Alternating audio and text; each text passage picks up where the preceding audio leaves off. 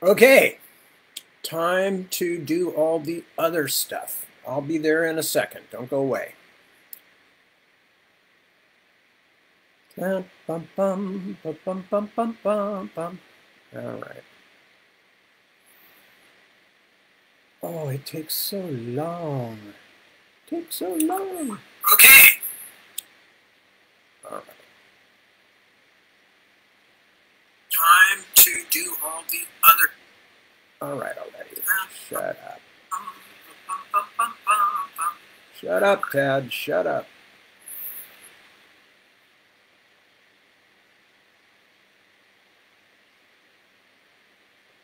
Okay, what's on my mind? Facebook wants to know. Funny you should ask. Mark and Company, because this is what's on my mind reading now and being bombarded with messages about my frames per second rate being insufficient. Okay. And that's all right. I, I can I can live with that. I can because I can't figure it out. All right.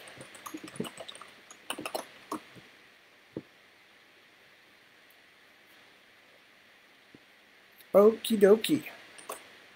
I think that should do it. Yes, and my frame rate's too low. It still says, go away. Stop it. Okay, hello. I'm Tad. Good to see you. Um, nice to be with you. I'm going to be reading, and I'm pretty sure we're going to be finishing Dragons of Ordinary Farm tonight. Um, I'll give the folks who are here this evening a chance, if you haven't chimed in already, on what is going to be read next. The two options, two, count them two, the two options that I have provided are the follow up Ordinary Farm book or the first Otherland book. Um, and people voted last night, and I have, best I could, tabulated those results. Makes it sound very official, doesn't it? I have tabulated those results, and um, I will see what any of you have to say tonight because I'm almost certainly going to finish.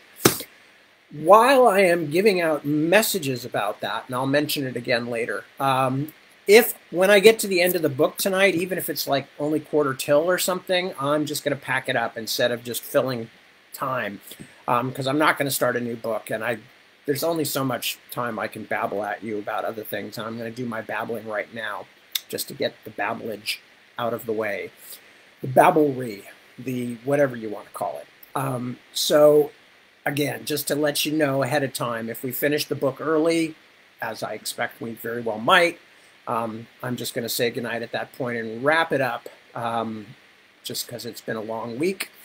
And I'm not going to force any of you to listen to me filling time, um, which is horrifying. I, I, I, did it for years on radio, I've done it here. Um, and uh, it's not that I mind doing it so much, I mind forcing it on all of you uh, who are kind enough to join me. So, Anyway, in the interim, what else is there to mention? Um, we, we checked in with our UK friends and family today, as we often do on Sundays. We worked or did some work. I did some work. Deb did some work. Um, I have no idea what the kids did because they were behind closed doors all day. So they could have been, I don't know, preparing to overthrow uh, the government and install a new world order of young people um, which basically doesn't worry me too much because nothing will ever get done. so it's not like terrible changes will come. They'll be like all this, like, yeah, we're going to make it illegal for grown-ups to vote next week or the week after. I don't know, man. I'm really slammed. Uh, maybe like after Christmas sometime. Yeah. No, wait. I have to go skiing. Okay. Um. Yeah. Let's do it. Man, I don't know. This is hard. So, uh, I'm sure some of you out there have extremely organized young people living in your house. Uh, such is not the case with us. Well, they're very organized when it comes to things that they are interested in, like putting together a D&D session or organizing to go out to a, a movie or something or things like that. But in terms of things like cleaning a room, much different kind of set of affairs. Anyway, so what else? As you can see, I mentioned this last night, the Mylar balloons are holding firm, even though it's been like 10 days since the birthday they were brought in for. But Mylar does not give up. Mylar does not exhale its helium into the atmosphere in the same way that uh, rubber, old-fashioned rubber balloons do. So God knows how long. I'm, I'm kind of tempted just to leave them now and just to see how long they last. My experience with these things, like in the kids' rooms and stuff, is that they slowly float down over a period of many, many days, sometimes weeks. And then eventually they're just, their own weight keeps them just barely off the ground. Just, you know, like that.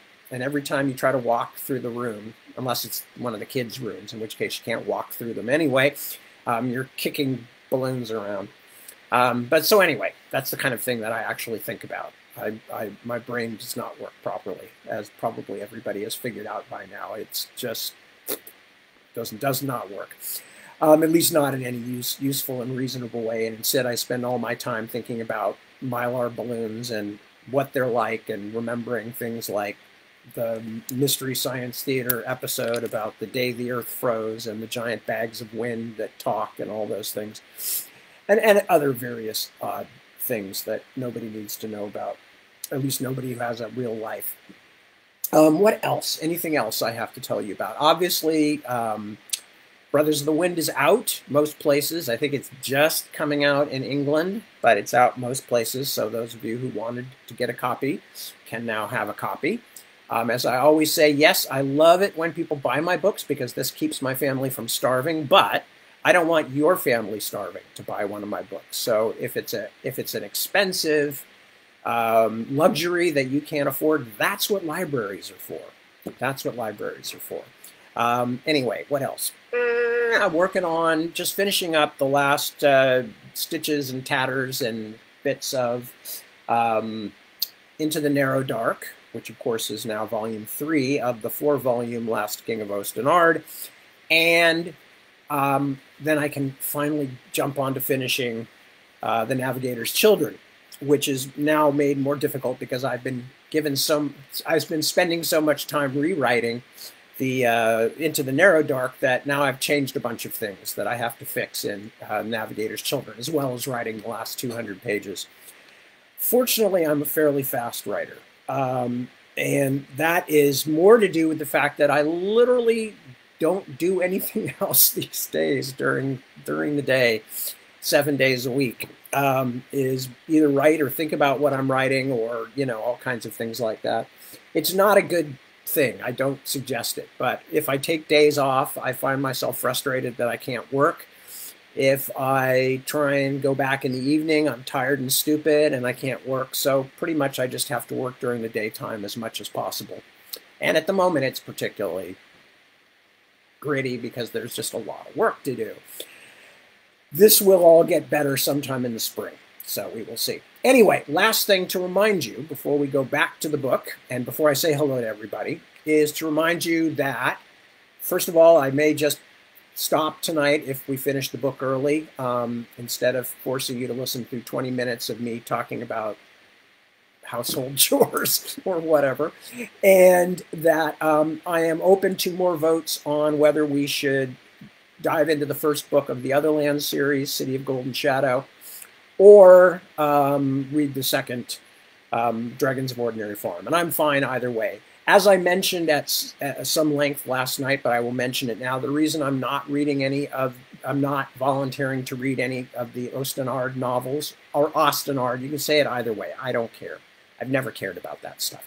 People can pronounce these names exactly as they want to, and when you come up to me at a convention or some kind of event, book signing, you know, don't worry if you think you're going to say the name wrong because it's absolutely going to mean nothing to me. As I've said many times, um, I pronounce many of the names wrong because I created the names before I created the rules of the regional languages and things in all my books.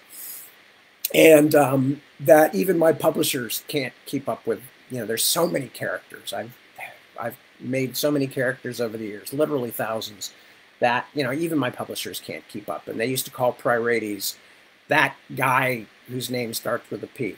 Literally, that's what they would call him because they could never remember what exactly it was.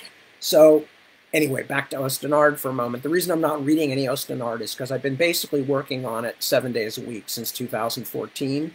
Um, and uh, I'm very glad I've been doing that, and I'm enjoying the heck out of it. And I will probably return to Osten Ard at some point, not too far in the future, after this. But I'm not really down to read a bunch of it right now. It just would be a little too much for me. So that up the line, if I'm still doing this, very possible. Anyway, so those are your two options um, if you want to make a vote. And now I'm going to go say hello to people, and then we are going to get on with the reading. Comments. No, I don't want that. I want, oh, God help me. Just please. Oh, wretched people. Um, they have so mangled this. All right. All right. Let's see if we can figure out. Of course, there's no times on these, so I can't tell what order they came in on. Oh, God, I hate this stuff. Anyway, so let me just say hello to people. So who have we got? Medardo. Good to see you. Oh, now it's switched again. And that Medardo just moved down to the bottom, I think. Why can I not just get the stupid things. Sorry, folks. I realize this seems like the, the ultimate boomer moment here that I'm just sitting here complaining and complaining about things. But honest to God, I'm pretty good with this stuff, and it's just incomprehensible. Um, okay, so I'm just going to go through the comments as I can see them at the moment. And I apologize if I'm doing anything wrong or missing anybody, because the, the comments will not allow me to go back to um, from newest to oldest or oldest to newest. Anyway, Barban, hello. Medardo, I'm sorry I didn't get a chance to say hello to you properly right literally in the middle of that. It disappeared. But hello, Medardo, I saw you. Barban, hello, good to see you. Jeremy, a pleasure, as always, my friend. Kristen, hello, nice to see you too. Mahmoud, um, and you're going to go back to sleep well. Good night, sleep well, sweet dreams. James, hello, and you're going to take Brothers of the Wind to the park. Good thinking. Um, I'm very much in favor of getting out of the house. I haven't been doing it much lately. Timothy, hello, good to see you. And uh, oh, and you're reading it too. Excellent. Glad to hear it. All right, there's some more votes for Otherland, Otherland, Otherland. Wow, we're certainly leaning toward Otherland. Um, I think so far that Otherland is kind of way out in front. But uh, so who else is here that I haven't said hello to? Um, James, and stop that. Don't roll the whole thing, just that section. James, Timothy, hello, Timothy. Kristen, I already said hello to. Claudia, good to see you. Kenneth, Kenneth K, nice to see you too. Jared, a pleasure. Alan, I think I already said hello to you, but if not, hello, Alan. Alan DC. And Becca, hello, Becca, um, who uh, do a reading after sucking on helium. Oh my God, that is horrifying. Um, Jeremy wants to know if I'm going to finish two partridges, one pear tree. Yeah, I'm going to do my best. I'm going to do my best. Unfortunately, I'm right in the absolute pit of deadline. Um, so, yeah, anybody can vote. Anybody can vote, Mahmoud. Um, James says when Tad complains about his young people, he thinks of Rachel the Dragon. Yeah, there's probably some of that in there, um, some Rachel aspect. Uh, I don't say merciful Saint Rhiap, but otherwise I'm somewhat similar. Chris Vandal, good to see you too. Um, and Jeremy's other brother chimes in with Bobby Bobby Dollar question. Carl, hello, Carl. Ron, hello, Ron. Good to see you. Ron says he's enjoying Brothers of the Wind. Well, Ron has gets a lot of the credit um, along with several other people here, including Jeremy, who I just said hello to, for help with that book. Because as I've mentioned before, I don't think I could be doing Osten Ard, Ostenard, um, without all the nice people who've been helping me to remember all the things that I've put in these books and can't remember now. So Nancy votes for Otherland also. Sasha, hello. Um, good to see you. Getting feed cutouts. Yeah, there's this whole thing is messed up, and I cannot figure out why or what it wants me to do. I've been trying for as long as this this whole process has been since they changed um, what was going on. I'm still on the same thing. I'm still on Facebook. I'm still on Chrome, but they keep changing things. And the last time they changed it, all of a sudden it said, you know, your frame rate is is is is insufficient. But I swear to God, I have gone to the thing like five times trying to figure out how to change the frame rate or whatever, and I can make no sense out of it. And again, I'm the guy who does all that stuff in our household. You know, I'm the one who helps people figure out, you know, how to get signed into things or you know when something's not working i'm the one who figures out which part of the chain of components it is that's not functioning properly and all that stuff so i'm not you know i'm not some helpless boomer who's just like well uh geez uh, this thing i don't you know i'm i'm not my dad who still leaves the bless him who still has his original factory um, password on his his router. So whenever we go over to our house, over to their place, and the kids want to use the router, they have to go back and ask dad because nobody can remember a password that long. It's like twenty characters of just random letters and numbers, and we're like, Dad, just change it to something. Change it to Dad's password. Nobody's going to bother to hack your thing, you know. No. Anyway, but for some reason, this has been a complete mystery to me why this is happening, why the settings are, are, are constantly telling me that the stream rate is wrong, and uh, it, it just doesn't make any sense at all. It's absolutely pointless and crazy. So, anyway, what I am going to do now is I am going to start reading. And as I mentioned, I'm going to just read to the end of the book because I think pretty much we're almost there. And I apologize, but that's just a fact. So I'm going to go back a little tiny bit. Um, so for those of you who were not listening last night, and I don't blame you for not trying to get into both broadcasts um, in quick succession, um, there are many things going on. We, you probably remember that Lucinda was snagged in the dragon's harness, and Lucinda has been flying around dangling from the dragon's harness as the dragon takes flight in search of whoever stole the egg, which we know at this point is Colin. And um, I think in the section that I just finished reading, Lucinda managed to climb back up on top of the dragon, and then the dragon has crashed into um, the helicopter, and that's all we know. So actually, I'm going to step back here a couple of days, a couple of pages um, to where things start. Actually, I'm just going to start with chap. How many chapters have we got here? 29. I think this all happens. I think there's like one chapter left after that. God, wouldn't it be funny if this was like a copy of the book that didn't have the last chapter? Okay, anyway, I'm going to start chapter 29 again. Going to read it. So, chapter 29 is called The Devil's Bargain. Those of you who heard this last night, you may go and get yourself some crackers and cheese or whatever. This will take about five, eight minutes for me to catch up. Why are we running? asked Steve Carrillo, struggling for breath. I'm tired of running. I've been running and hiding for days. Tyler stopped to let them all catch their breath. Because you really need to get off this property. Just trust me on that. Carmen straightened up and pushed her hair out of her face. Running and hiding? You spent the whole day yesterday lying on your back playing coils of the man serpent. You fell asleep with a controller in your hands. I'm not talking about that yesterday. I was in that mirror for days, Steve said. It just didn't seem like it to you. We're going to be hearing this for years, Carmen said. Steve, is your room clean? Couldn't do it, Mom. I fell into a mirror and I was gone for like a month. Little Alma patted her brother's arm. I believe you, Stevie. Tyler snorted. Yeah, this is all great, but I really suggest we get moving again before something a lot worse than the mirror happens to us.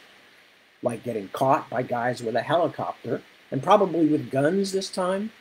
He'd have to get the Carrillos going their own way before they reached the edge of the property where the copter had been. What did that Stillman guy want anyway? And how had he found out there was anything unusual about Ordinary Farm?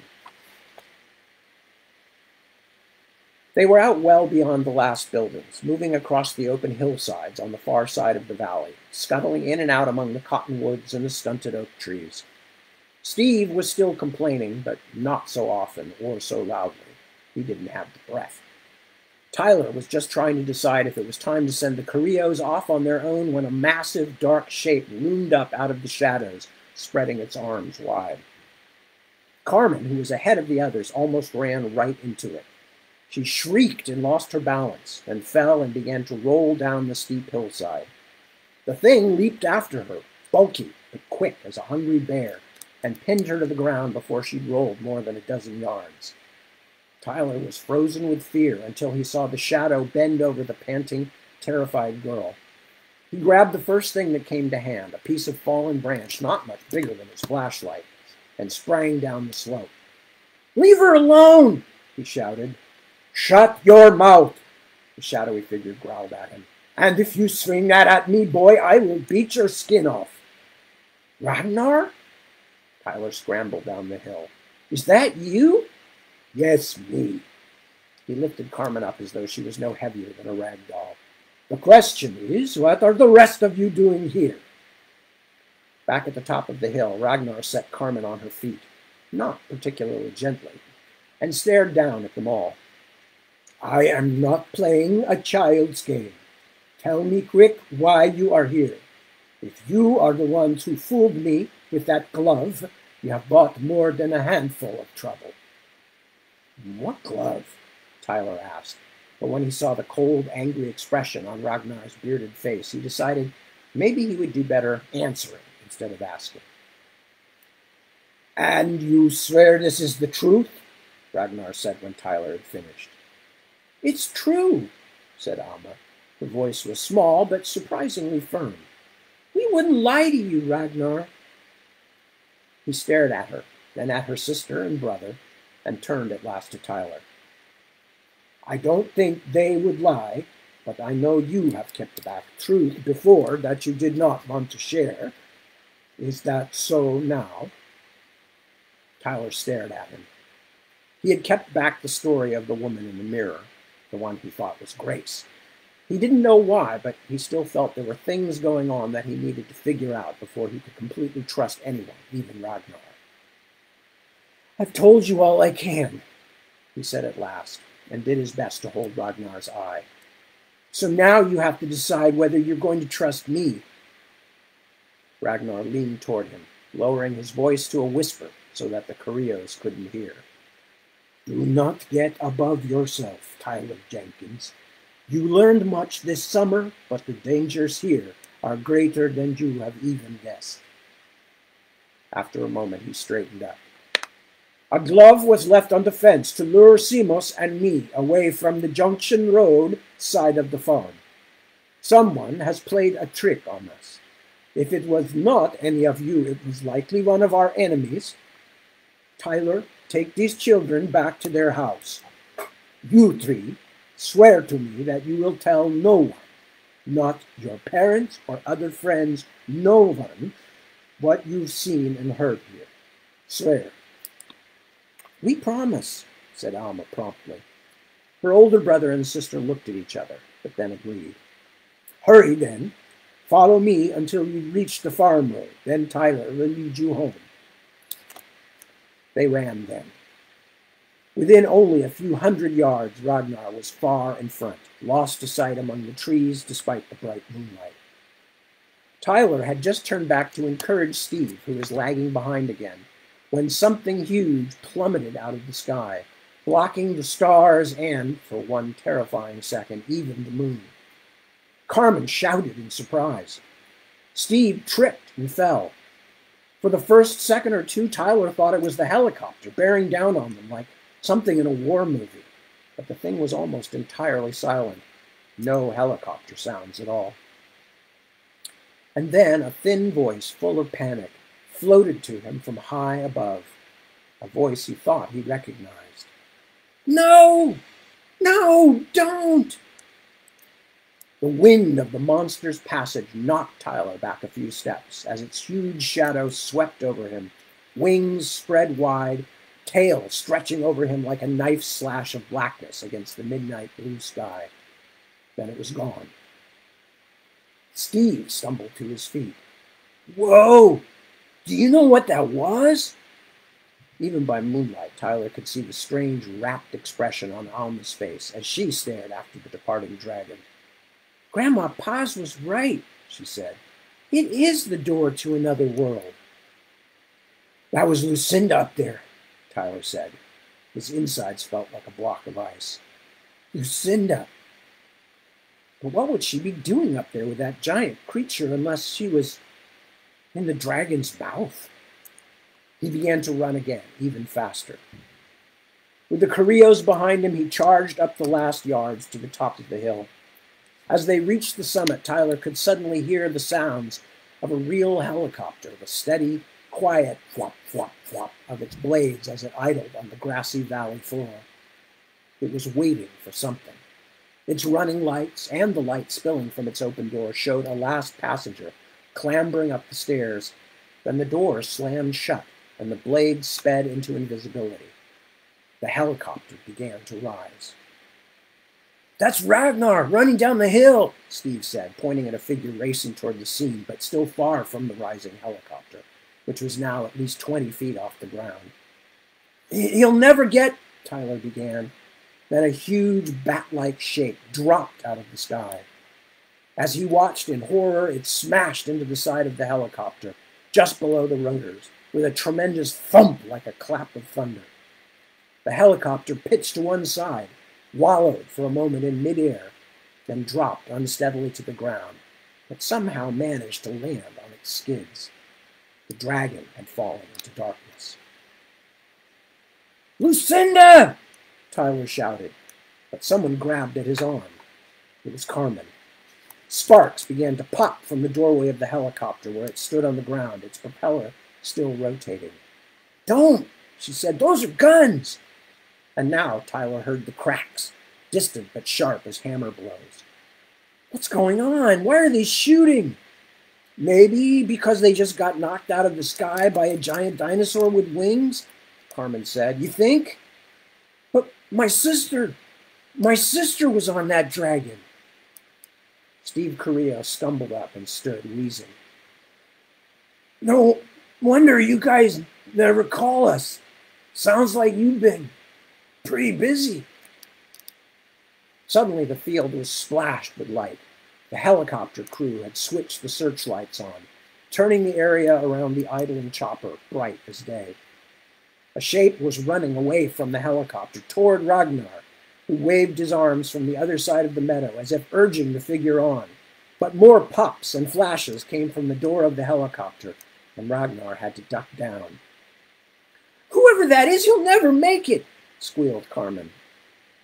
Then a new shape came from somewhere behind the helicopter, moving over the grassy ground in a blur, fast as a rabbit, but bigger, much bigger.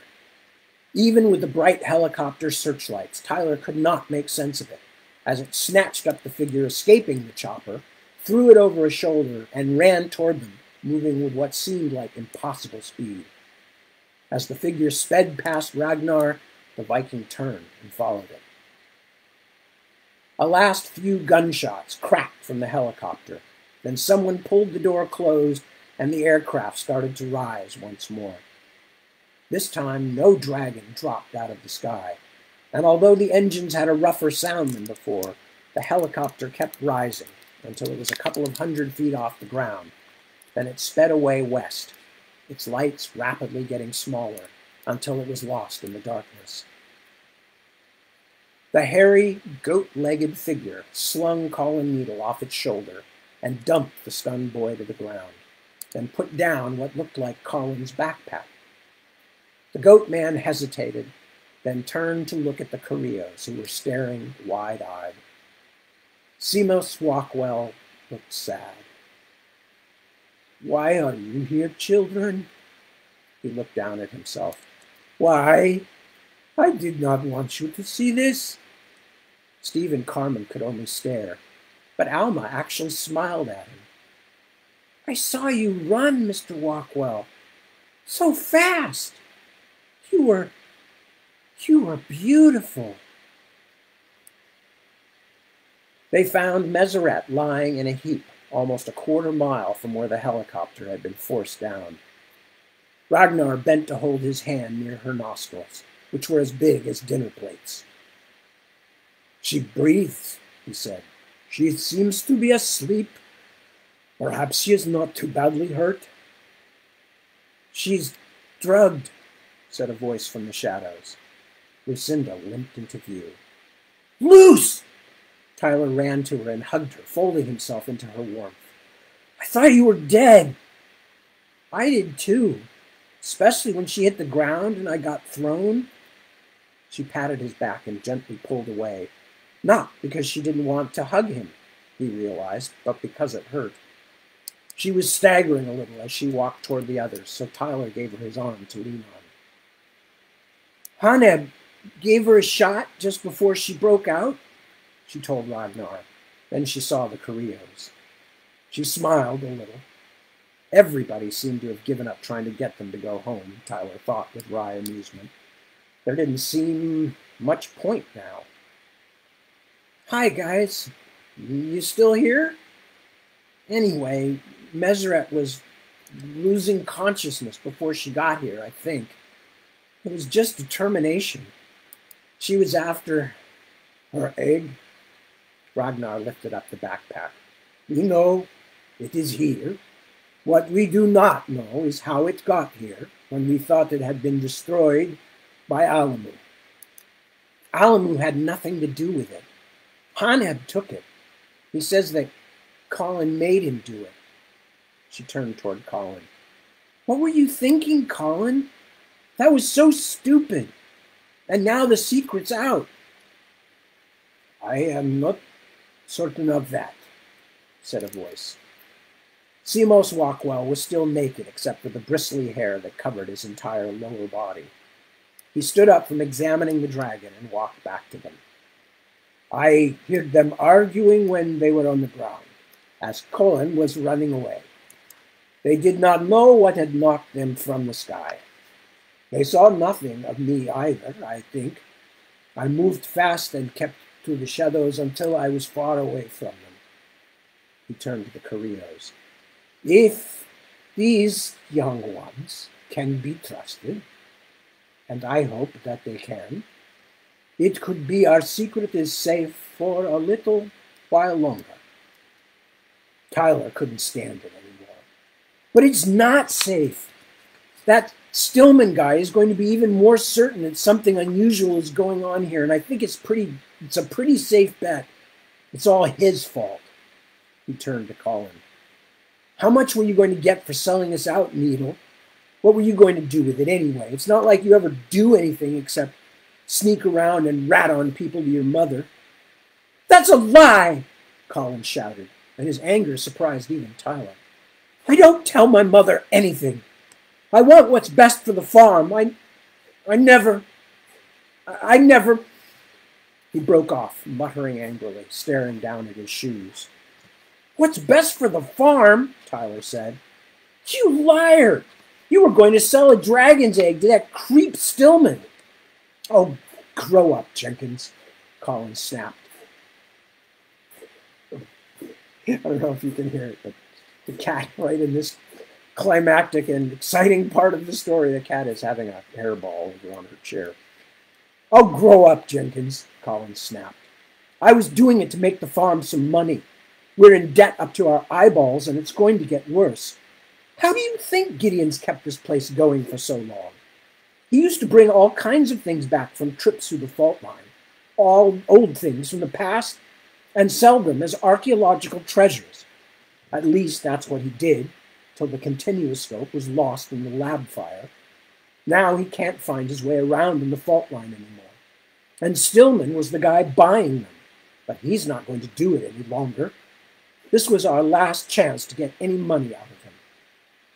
Ragnar said, You are a stupid little bully, Colin Needle. His voice was full of contempt. You have given away everything. You put a dragon's egg in that man's hand. Colin shook his head. He thinks it's a dinosaur egg, just really well preserved. I can't believe you do that, Colin. Lucinda slumped a little against Tyler. He could feel her trembling with exhaustion. I can't believe you do that to Gideon. Colin's eyes filled with tears, but his face was angry. Gideon, are you joking? He's letting the whole place fall apart. He hardly ever comes out of his room. Ragnar called to Mr. Walkwell, who was inspecting the place where the helicopter had landed. We must take him to Gideon, Simos. He is the Thane. He must know what happened here tonight. No, Colin shouted. If you tell him, we'll all be thrown out. Me and the Jenkins kids, all of us. Tyler took a step forward. He had seldom had such a powerful urge to slug somebody. Shut up, Needle. You think I'm wrong? Colin turned on him. Look at you! You snuck into the fault line. You stole stuff from the library. You brought these kids onto the property. He pointed a shaking finger at the Carrillos, who were looking pretty nervous. At least I was trying to help. You were just entertaining yourselves. That's not fair, Lucinda said. Quiet, all of you. Ragnar looked like he'd also like to hit something. Simos, what will we do? Mr. Walkwell was trotting back toward them, hooves picking gracefully at the uneven ground. he was carrying something.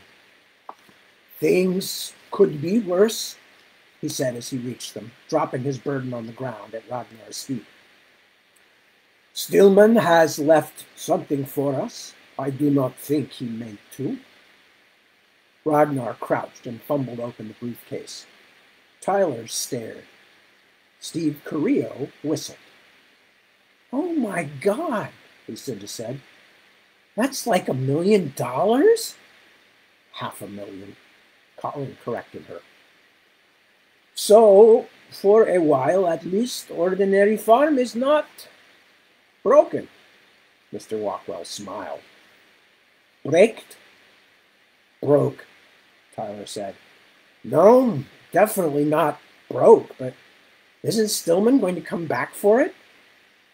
Ragnar laughed grimly.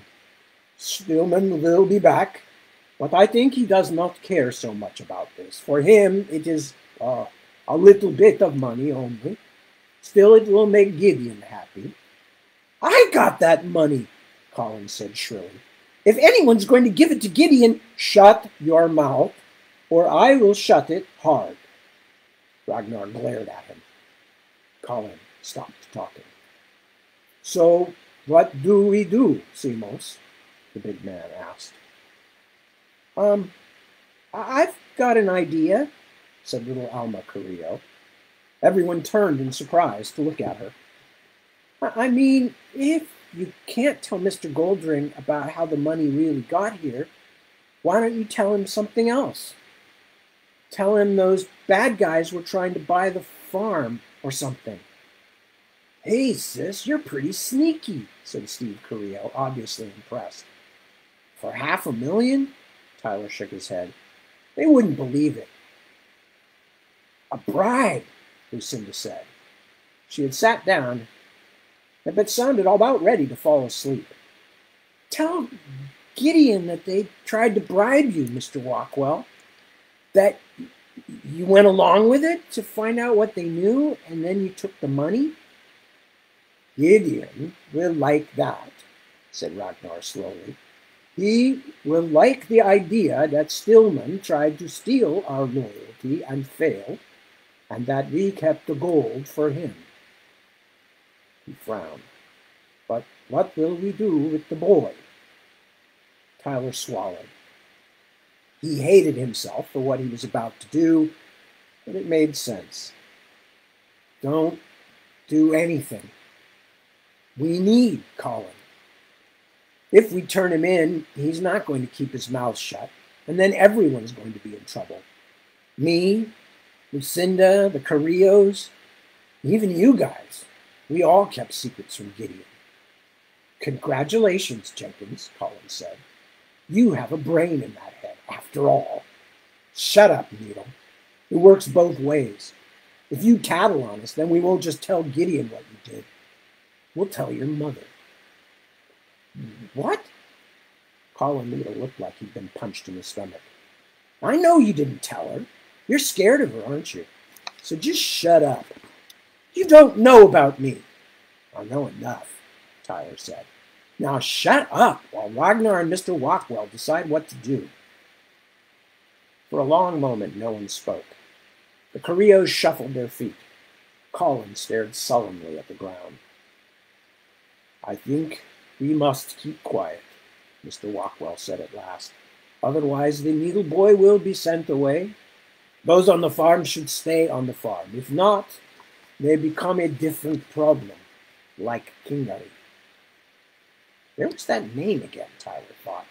The one even Ragnar was afraid of. What kind of monster was this Kingari? What had he done? So, it seems we make a devil's bargain, as it is called, said Ragnar. Everybody will stay silent about what they know. But Simos and I will be watching you always from now on, Colin Needle. The big man glared at Colin for a moment, then shook his head. Still, we have one other problem to solve the egg. Gideon thinks Alamu took it. Now we have it again. We will think of something, Mr. Walkwell said. But let us think while we are taking these children back to their beds. For them, this night has gone on far too long. He looked at Tyler and Lucinda, and his normally gravel toned voice was almost gentle. You are leaving us tomorrow, after all. But what are you going to do with that that dragon? Carmen Carrillo asked. Is it dead? No, just overcome by sleep medicine, Mr. Walkwell told her. But she does have a deep cut on her wing from that thrice cursed flying machine. It will need many stitches. Ragnar, can you find a big enough tractor over in Canning to carry her back to the sick barn? Carry her back? Tyler was amazed. Where can you find anything that big? You would be surprised. Ragnar said. Meseret is not so heavy as she looks. Her bones are hollow, like a bird's. But uh, first, I suppose you should take the other devil machine and return these children to their own home, Mr. Walkwell told Ragnar. It will be dawn soon. The Carrillos walked back to the farmhouse yet again, this time with Tyler and silent Colin, wiping his eyes on his sleeve. Mr. Walkwell carried exhausted Lucinda on his back, her head nodding. Ragnar had the backpack with the dragon's egg in one hand and the briefcase full of money in the other. Seems like you guys must have had a pretty interesting summer, said Steve Carrillo. You could say that, Tyler agreed. Yeah, I guess interesting would sum it up pretty well. All right. And the last chapter, chapter 30, one in the oven. Well, said Gideon Goldring, wrapped in a clean bathrobe and looking like an ancient king as he stared down the length of the breakfast table. I knew it was going to be a big morning, what with our guests heading back home today, but I didn't expect things to be quite this exciting. The briefcase full of money was in his lap. Meseret's egg sat in a nest of towels at the center of the table, as if it was the main dish. The official story, constructed in haste, was that the she dragon had sensed when her mate had taken the egg, broken out of the sick barn in fury, and recaptured it. The injury to her wing from the helicopter blade was now a battle wound from a scuffle with Alamu. Lucinda didn't like having to lie, especially about things this big. Unable to look at Uncle Gideon, she turned and looked at Colin Needle, who was also avoiding Gideon's eye. Or perhaps it was the gaze of his mother, sitting at Gideon's right hand, that he was avoiding. Whichever was the case, Colin had the pale had a pale, sickly look, and for the first time since Haneb had told her of Colin's role in the theft of Meseret's egg, she felt sorry for the older boy. He had been stupid and reckless and arrogant but she believed him when he said the farm was important to him. Gideon looked at the briefcase again, then at the egg, and shook his head in disbelief. My goodness, I can't get over it. A dragon fight, attempted industrial espionage, and I slept through it all. He turned to Ragnar. How is Meseret? The blond bearded man laughed in a hollow way. He was still wearing the same dirty, sweat stained clothes from the night before. She is sleeping. We've given her more medicine. The tractor man should have a loader and a trailer ready this afternoon. I'll bring them back after I take the children to the train station. We'll have her back in the barn by tonight. And the damage? He will be able to fix everything, I think.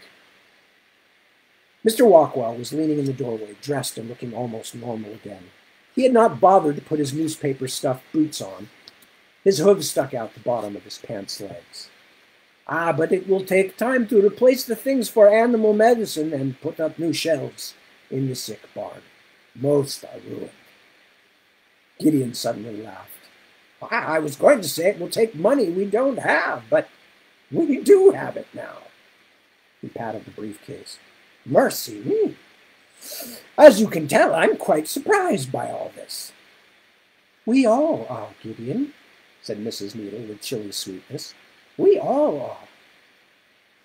Another long silence dropped over the table. Lucinda wondered how long it would be until Mrs. Needle squeezed the entire story out of Colin. She had drugged Lucinda and set a vicious, unnatural animal on Tyler. Goodness only knows. Oh, goodness only knew what else she could do. And she was Colin's mother. No wonder he acted like he did. It turned Lucinda's stomach. My only sadness, Gideon said at last, is that we have the egg back so we can study it, but we still have no baby dragons and no idea of what the problem is. Something tickled Lucinda's memory, but stayed just out of reach. I wish you would let me take a hand, Gideon, said Mrs. Needle. Her hand came to rest on Uncle Gideon's arm like an ivory spider. After all, Walkwell and the Norsemen have failed three times now to keep an egg alive. There are charms that I know, herbs I could give that ensure healthy births in cows and sheep and even poultry. There is nothing wrong with my care of these animals, said Mr. Walkwell in a flat, angry voice. Suddenly, Lucinda remembered. Wait! Maybe the egg isn't dead. What nonsense are you talking, child? demanded Mrs. Needle. Leave these things to your elders. Just a moment, Patience, Gideon said, shaking his arm loose from her clutch as he turned to Lucinda. What do you mean? She told them how the dragon's thoughts had seemed to stream through her mind as she rode most of them quite strange and alien, but some of them so clear that she felt she had understood Meseret's meaning. She was thinking about the egg. She didn't think it was dead, just that it needed something to start it moving. Quickening, it is called, said Mrs. Needle, with a certain cold authority.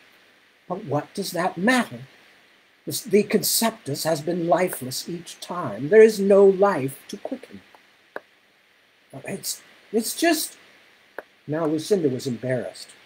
What had seemed so clear when she had touched the dragon's thoughts now seemed strange and dubious when she had to explain it, especially with Mrs. Needle staring daggers at her. It, it just felt like she thought there was something she was supposed to do. She thought about breathing on it, breathing fire. But there was something wrong with the shell, Meseret needs to eat something to make the shell, I, don't know, right. Some kind of dirt or rocks or something? Some kind of dirt. Mrs. Needle summoned a tight smile. Surely you misunderstood, Lucinda. After all, you were terrified, struggling for your life. Now, hold, hold on, Patience, said Gideon. Animals eat all kinds of things to help themselves. Remember when we kept losing the first basilisks uh, uh, until we found out they needed rocks in their stomach to grind up the bones of their prey? He turned to Lucinda and Tyler. Oh, they eat mice and lizards and whatnot. Just gulp them down, swallow them whole, he informed them with a certain relish, then looked around the room. Where's Haneb? He's the one that came with the dragons. If anyone knows, he will. He did not want to come in to breakfast, said Ragnar. Of course he didn't, Lucinda thought. He's afraid he's in trouble. I will find him, said Mr. Walkwell. It was a pleasure to see him turn and go out the door so swiftly, so gracefully, instead of limping like an accident victim. She hoped he would keep his boots off from now on, around the farm anyway. Mr. Walkwell returned in only a few minutes with Haneb beside him, looking as though he was trying to become half his ordinary size. Haneb, what are you cowering for, boy? Gideon boomed. We need your help. We want to know about what the dragons ate back in your country. He turned to Lucinda and Tyler. It's part of Turkey now, but for a long time, Haneb's people, uh, the Hittites, had much of it to themselves. Haneb still looked startled and fearful. Ate? Yes, ate, confound it. Did they eat stones? Anything unusual like that? Haneb, oh, sorry, he kept his head down as he thought, his hair masking the scars on his face. He had worked hard to avoid Lucinda's gaze. No stones, he said at last. Nothing strange at all?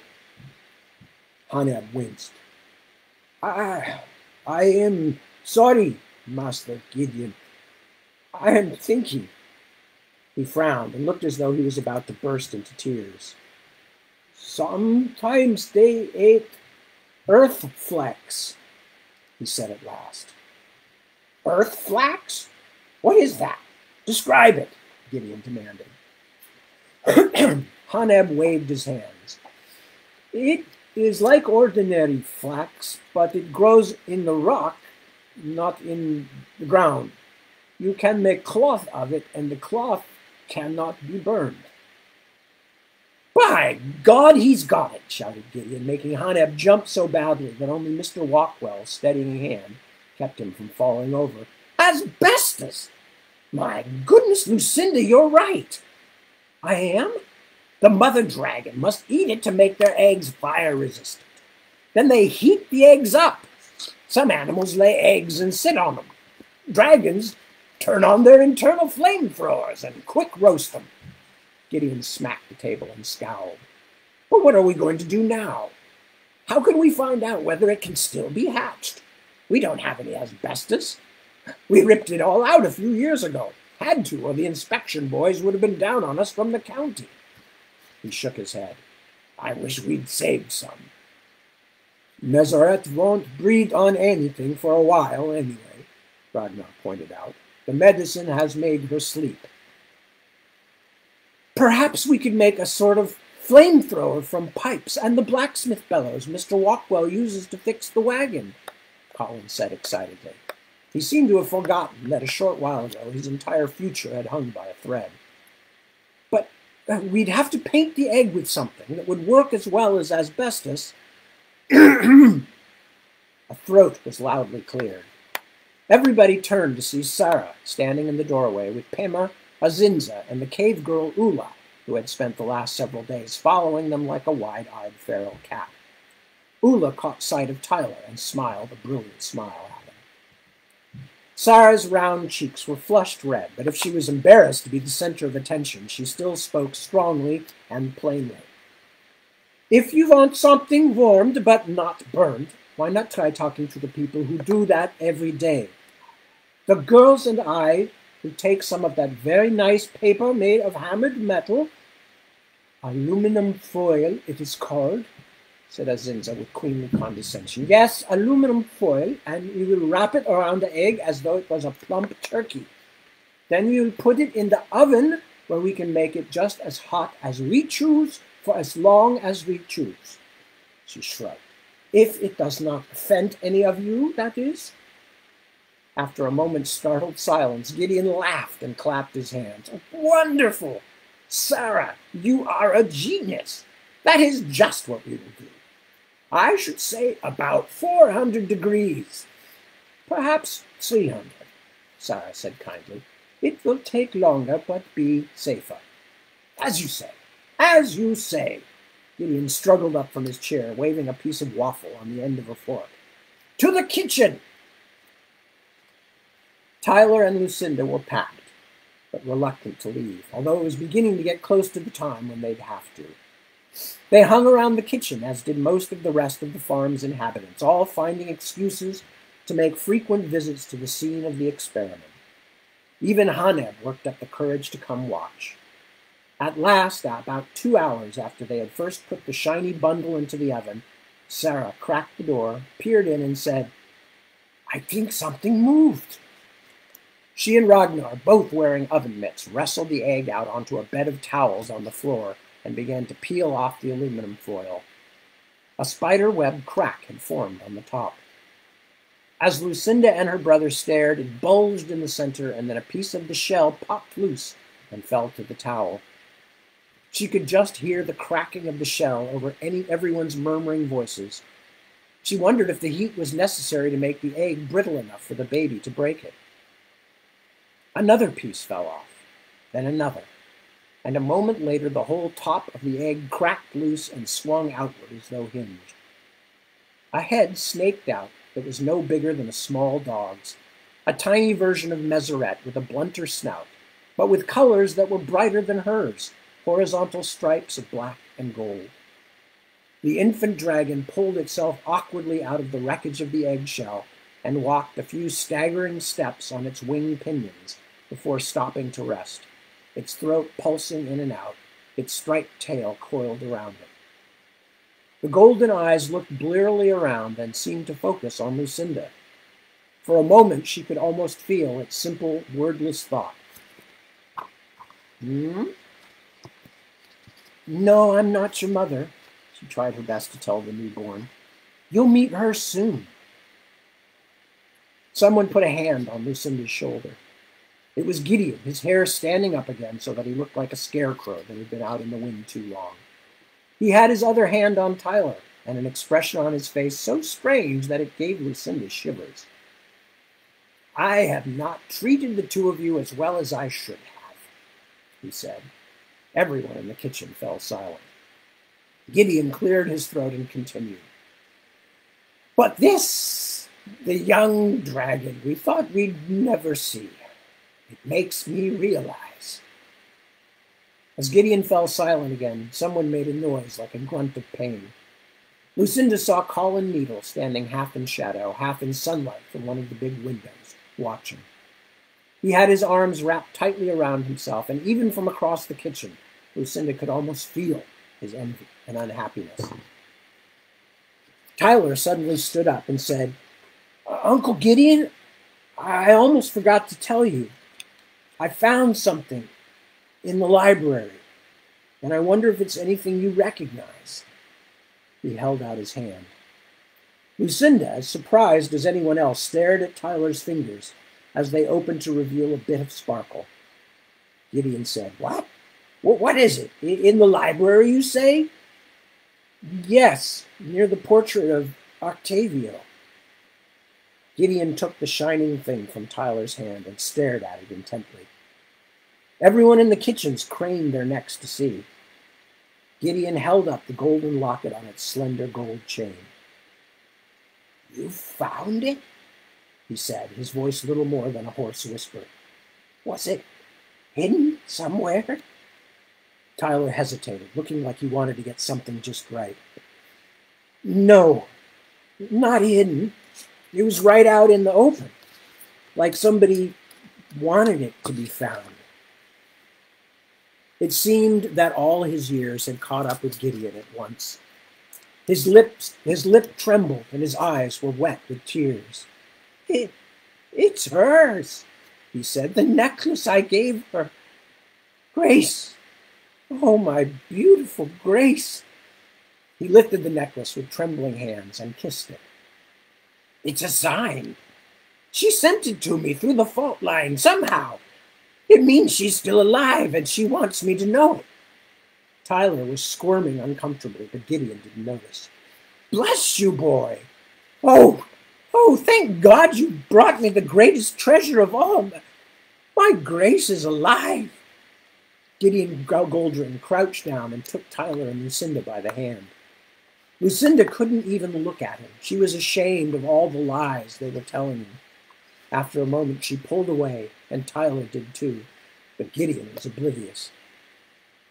I fell in love with her when she was just a girl, the old man said, his voice hoarse.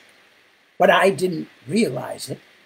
Only when she had grown up and I could I finally understand the feelings I had. But her grandfather, old Octavio, fought against us for so long. He didn't want his hired hand marrying his granddaughter. Gideon laughed. That's all I was to him, just a young man he'd hired to help him grow crystals. It took years for him to accept me, accept us. And then, just when it finally seemed we would be happy, I lost her. I still don't know what happened. I, I had left the farm for the evening, and so had Octavio, who had gone off in his own car. The fool was too old to drive. We told him that a dozen times, but he was too stubborn to listen. So we'd left Grace alone. When I came back late, I found my grandfather in law's car half off the driveway into the undergrowth and Octavio himself lying beside it, dead of a heart attack. Grace was gone. I couldn't find her anywhere. I I don't know whether she'd found her grandfather and just wandered off in a daze, or it was just a terrible coincidence. Then Simos found her tracks in the dust of the silo, tracks that disappeared at the fault line. Worst of all, the continuoscope was just lying there, as if she had dropped it before she stepped into the fault. Without it, she was lost with no hope of finding her way back. Gideon fell silent again for a long moment, but she could hear his breath hitching. Lucinda, like others in the room, found herself shifting uncomfortably. The poor man. But now, thanks to you, Gideon said suddenly, I know for certain that she is still alive, that she's trying to communicate with me. He stood up, throwing his arms wide. And we have a baby dragon. Tyler and Lucinda, bringing you two to Ordinary Farm just might be the best thing I have done in years. He reached out and captured them again, pulling them into an uncomfortable, bony hug. The ancient bathrobe smelled like talcum powder and sweat. Bless you both. Please come back to us soon, next summer for certain. And perhaps you could even visit us at the holidays. Ragnar seemed to take pity on the two of them being squeezed until Lucinda thought she would pass out.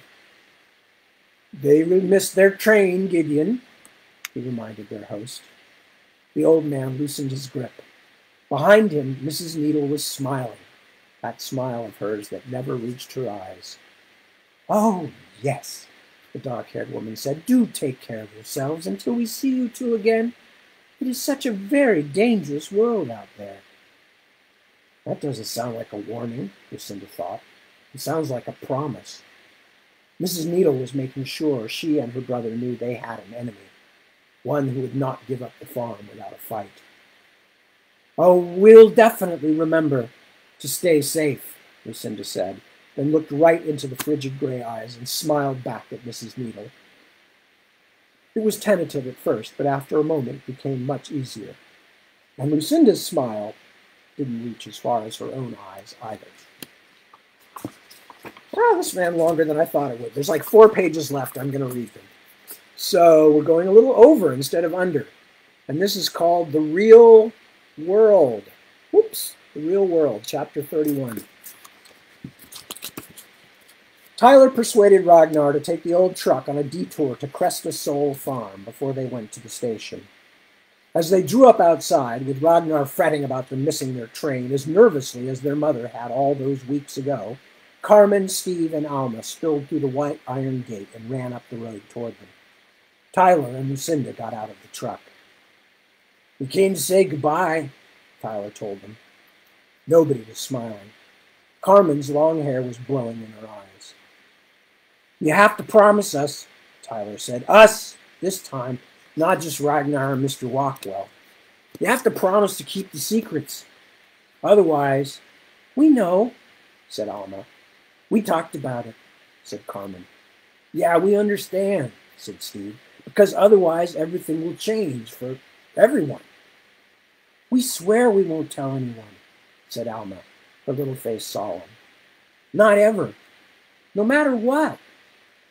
Don't forget to write, Lucinda, Carmen said. And you guys come back soon. So we have someone we can talk to about it. None of the children could think of much else to say. Their hearts were too full. They all hugged, then Tyler and Lucinda climbed back into the truck. Did all that really happen? Lucinda asked. All of it? You keep saying that. Tyler was looking out the train compartment window at the fields and houses going past and trying to think. There was still so much about the summer he didn't understand. Of course it happened. But look, his sister said, Look, Tyler. I am looking. That's not what I mean. She rapped her hand on the window. Look at what's out there. The real world. That's where we live, not in a television show, not in a movie, not in a storybook. Why us? She leaned in close, lowering her voice so that the man in the baseball cap and the lady with the bag full of knitting materials across the aisle couldn't possibly hear. Tyler, I rode on a dragon. Tyler grinned. You dangled off a dragon, screaming like a baby, you mean? Shut up! You know what I'm saying. She lowered her voice again. You jumped into a mirror. You went to the Ice Age and came back with a cave girl. She's from like a million years ago or something. And she has a crush on you, Tyler. That's bull. She does not. Besides, what about Colin the criminal? Seems like he rather fancies you, old chap. Lucinda grabbed his arm so hard that it actually hurt. Don't change the subject. You know what I'm saying? How can we just go back to school like none of it ever happened? Tyler was quiet for a long time. We're astronauts, he said at last. No, we're we're secret astronauts. What are you talking about? Well, astronauts go to the moon or Mars, whatever.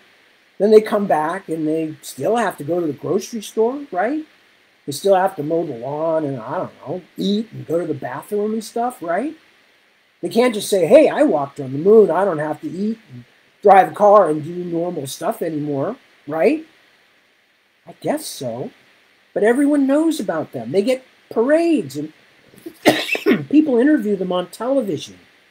They don't have to pretend like everything's normal because everything isn't normal. It isn't. To his astonishment, Tyler saw that Lucinda's eyes were full of tears. After a moment's hesitation, he grabbed her hand. No, it's not, he told her. But that's the secret part. Like spies. They can't come back from a spy mission and say, the most interesting thing happened when I was in the underground hideout of Professor Evil Guy. Because it's secret, right? Just like the farm, and we have to keep it that way. He squeezed her hand before letting it go. It's ours, Luce. Ordinary farm is ours now. We belong there. We earned it, and no one can take it away from us. And we're going back, too, but only if nobody finds out. She took a deep breath. But I'll go crazy if I can't talk to anyone about it. We're asking the Carrillos to do the same thing, aren't we? But they have each other. You have me. You can talk to me. It's our secret, yours and mine. Lucinda sat back against the seat. She rubbed her eyes dry with the hem of her shirt. But what am I going to tell my friends when they ask me what I did this summer? And what are we going to tell mom? Tyler put his knees up on the back of the seat in front of him and pulled a notebook out of his backpack. It was covered with scribbled notes. We'll, we'll make stuff up.